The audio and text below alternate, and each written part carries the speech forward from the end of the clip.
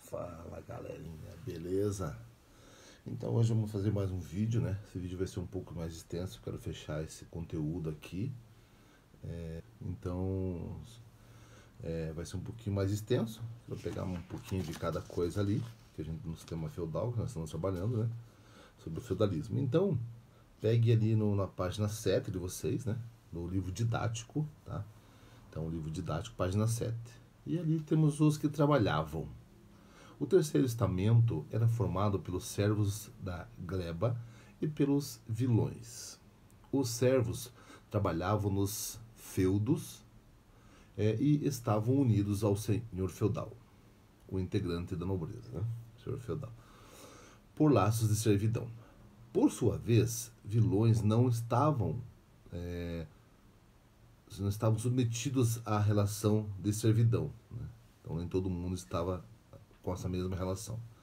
Os servos da gleba estavam presos à terra do Senhor por laços de obediência. Eles produziam e beneficiavam alimentos, criavam animais e fabricavam as ferramentas necessárias para o desenvolvimento desse trabalho, desses trabalhos, tornando cada feudo praticamente autossuficiente. Essa autossuficiência dos feudos levou a uma é, gradativa diminuição de trocas de mercadorias, que foi aos poucos enfraquecendo o comércio. Então, assim, quanto mais autossuficiente esse feudo era, menos ele fazia troca externa, né? Então, a parte comercial nas regiões começou a enfraquecer muito, porque esses feudos eram mini cidades e ali eles produziam tudo, ou basicamente quase tudo, que era necessário para sua sobrevivência, para sua subsistência também, né? Então ali Vamos lá agora para os que guerreavam, tá? Já vamos direto ali também, porque o tempo é curto aqui.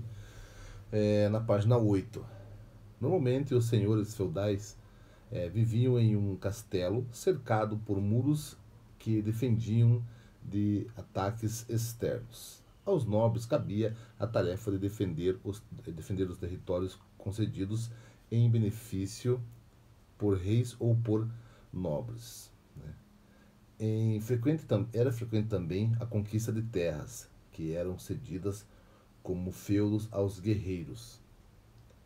A origem da nobreza feudal é, remonta aos tempos do Império Carolígeno. Sua importância social é, cresceu à medida que esse império enfraquecia e novas ondas de invasões é, chegavam à Europa Ocidental, até meados do século é, 10. Beleza? Bom, ali. Na seguinte, né? 9. Os nobres estavam divididos em alta e baixa nobreza. A alta nobreza era formada por duques, condes e marquês. Já a baixa nobreza era formada é, por barões, visconde, é, viscondes e cavaleiros. É, esses últimos pregavam serviços, é, prestavam serviço militar militares aos grandes senhores. Viviam e lutavam por eles, o que exigia um treinamento duro e é, iniciado ainda na adolescência. Então, assim, normalmente esses, quem guerreava era a nobreza, do modo geral, né? É, existia esses soldados, esses nobres que guerreavam também e acabavam ganhando também coisas em trocas, terras para fazer seus feudos, né? É, então era bem comum existir todo esse, todo esse processo de, de, de, guerras, mas sempre não com os camponeses, tá? mas com a nobreza mesmo, que, era, que fazia parte dessa defesa, né? E esse, esses exércitos aí, do modo geral. Então é ali a, a alimentação na sociedade medieval, tá? Então ali vamos, eu, dá pra gente ir direto lá para o CA, tá? no CA de vocês. É, eu acho mais resumido ali, então fica bacana para a gente ver o, como era a alimentação. Então, no caderno de atividades de vocês, é, na página 4, tem na sociedade feudal lá em cima, né?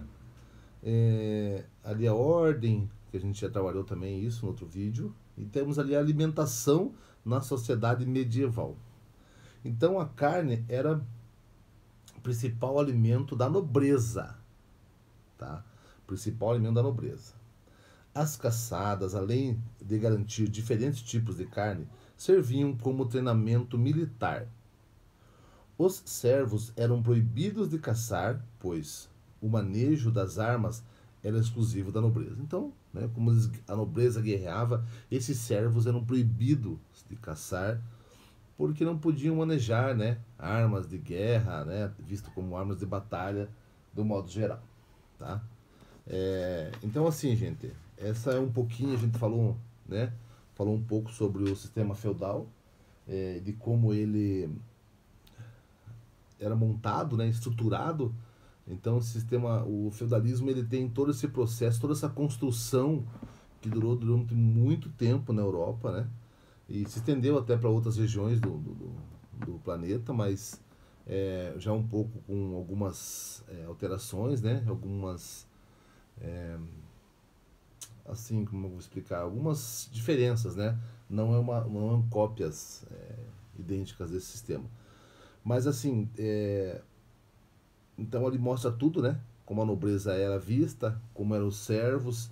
É, temos também a parte da igreja também, é, a parte da igreja que ela trabalhava sempre junto com a nobreza e com o senhor feudal.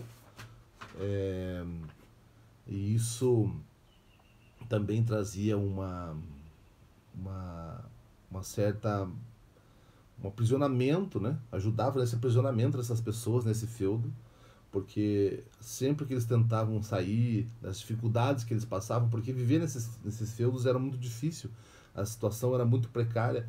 Então, é, pensem que a caça era, era, não era permitida para as pessoas mais simples, é, pelo manejo de armas, né? Mas, e a nobreza só que comia carne. Então, eles, a alimentação era muito restrita, até porque os animais que eles criavam normalmente era para consumo da nobreza, para venda né, para troca, alguma coisa parecida. E então a alimentação era muito básica. E a situação era muito difícil, porque as pessoas trabalhavam muito e não viam uma evolução na vida, né? Sempre só servindo, servindo e pouco retorno. E quando elas procuravam a igreja, que até então a igreja, é, os feudos tinham a sua igreja, né? A sua, o seu sacerdote, o seu bispo, né? É, procurava, ele logo aconselhava, se acalme, né? As coisas vão melhorar, não é o momento de você sair, coisa assim parecida. Então, é, ele acabava ficando mais um tempo, né? Porque a igreja acabava aconselhando ele a ficar também nesse período. Beleza? Bom, no CA mesmo de vocês ali, na página 9, a gente já vai começar sobre o renascimento comercial e urbano, tá? Então ele fala um pouco também do, da evolução nesse sistema feudal, né? Então, ali na página 9, diz assim, do CA de vocês, página 9 do CA. A partir do século do século XI, é, o feudalismo começou a dar sinais de crise. Essa época foi marcada pelo renascimento do comércio e da vida urbana, o que provocou alterações significativas nas bases do sistema feudal. Então ali começa é, a aparecer vestígios que as pessoas já começam a sair desses feudos e começar a ir mais para a parte urbana novamente. Então começa o enfraquecimento do feudalismo. Né? Essa parte rural começa a ficar fraca é, devido a todas essas dificuldades que eles já vinham passando, né? que a gente já comentou uh, anteriormente. Bom, ali temos também o aperfeiçoamento das técnicas agrícolas. Então, é, a, a produtividade agrícola até o ano 1000 era baixa porque era uma bem precária, né? É, com o uso de novas técnicas foi ampliada. Então ali observe algumas das inovações dessa época. Então ali, meus queridos, uh, tem um desenho ali com algumas inovações, né? É, porque como era muito rudimentar, a produção também era muito pequena. Então sem ferramentas, sem técnicas novas, era difícil aumentar a produção. E já ali nesse, nesse renascimento comercial e urbano, é, a gente já vê né, algumas invenções que deram uma, uma revolução né, na parte agrícola que se é usado até hoje. Né? É, claro que hoje é, alguns lugares usam ainda o cavalo, o boi, para fazer esse puxar esse arado, né? É, mas hoje é feito com trator, com outros mecanismos que, que conseguem fazer esse, esse trabalho também. Bom, ali tem né, o arado de ferro, é, era mais resistente e eficiente, pois cavava mais fundo e o, o solo, né?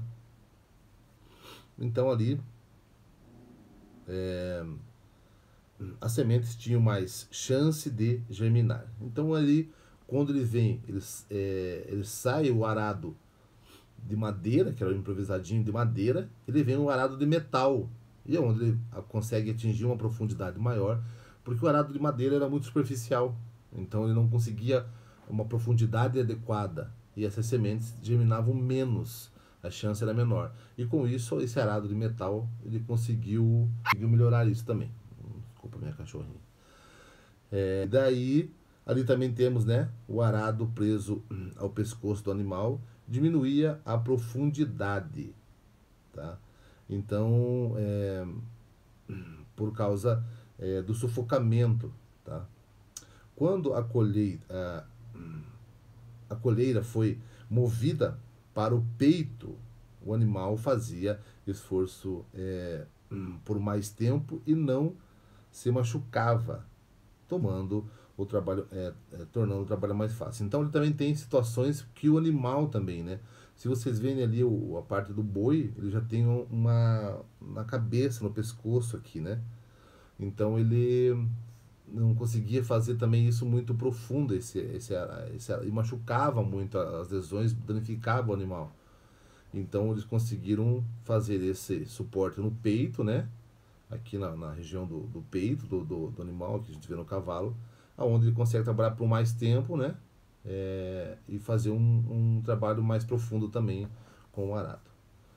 Então ali é, tem também os sistemas ali, né? É, o sistema bienal. Então ele desgastava a terra rapidamente, pois ela não se recuperava entre a colheita e a plantação. O trienal possibilitava o descanso e a recuperação de uma parte do lote então colhia-se em maior quantidade. Então eles conseguiram também trabalhar a recuperação do terreno.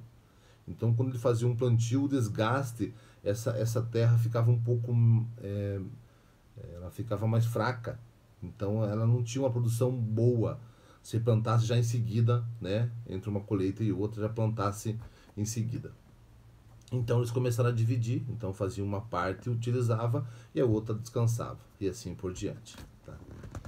É, vamos pegar ali na página na página 10, né? As feiras e as rotas comerciais. Então ali diz assim: a produção de excedentes intensificou as trocas comerciais em diversas regiões da Europa Ocidental. Feiras, né? surgiram na entrada dos castelos, nos pátios dos mosteiros e nas vilas. Foram ampliadas, é, foram ampliadas como abertura de novas estradas que se transformaram em rotas comerciais. Tá? Norte, é, é, norte. Cidades alemãs, é, cereais, trigo, pescado e madeiras. Sul. É, Gênova, Veneza, é, especiarias do Oriente. Então, ali como era dividido mais ou menos entre norte e sul, né? Essas rotas comerciais também. Ali temos também o crescimento das cidades e a forma da é, a formação da burguesia. O campo e a cidade na baixa idade média. É, atividade predominante é a agricultura, cidade, comércio, né? É, no campo, descampo e cidade. É, ritmos de vida, é, no campo lento e na cidade dinâmico. Mobilidade social inexistente no campo e possível na, na cidade. População dispersa do, nos feudos é, e aglomerada na cidade. Comércio, é, o escambo, né, que era feito no campo, as trocas dentro do feudo, e nas cidades as moedas que circulavam também facilitavam muito mais a troca entre outros reinos, é, outros povos também. Bom, durante a Baixa Idade Média ocorreu o desenvolvimento do comércio e o surgimento das cidades é, medievais chamadas burgos. A população urbana passou a ser denominada burguesia, né? É, guildas formadas por comerciantes de que desejavam a regulamentação das práticas comerciais e a manutenção do monopólio sobre o comércio local. Corporações de ofício, associações de profissionais para defender a qualidade de seus produtos e, e, e lutar pelos melhores preços. Então isso era uma composição dessa burguesia, né? Que era, é, começou com a formação desses burgos e essas pessoas foram denominadas burguesas, né? É, que provinham desses burgos aí. Tá? Então toda essa parte comercial onde o dinheiro girava bem, né, alto, e esses burgos acabavam é, enriquecendo, né, e criando toda essa, essa classe burguesa. É, as, as comunas eram cidades cujos habitantes eram proprietários de terrenos onde estava é, cada cidade. Então ali a cidade eram os, as comunas onde é, então ali eram cidades cujos habitantes eram proprietários do terreno onde estava cada cidade. Então, né, os habitantes eram proprietários dessas cidades, né, desses terrenos onde estava localizado. Os habitantes da, das, das comunas tinham mais autonomia para a administração do espaço urbano. Então, claro, eles tinham o espaço para trabalhar porque eles eram proprietários, então tinham mais liberdade para isso também. Né? Essas terras pertenciam a eles, do modo geral. Então não precisavam também ficar pagando é, produção como era dentro do feudalismo, tá? no sistema feudal. Bom, e ali temos as cruzadas. É, isso eu vou trabalhar no próximo videozinho com vocês sobre esse processo das cruzadas também, tá bom? E a gente encerra por aqui, gente. Até o próximo vídeo, beleza? Um abraço.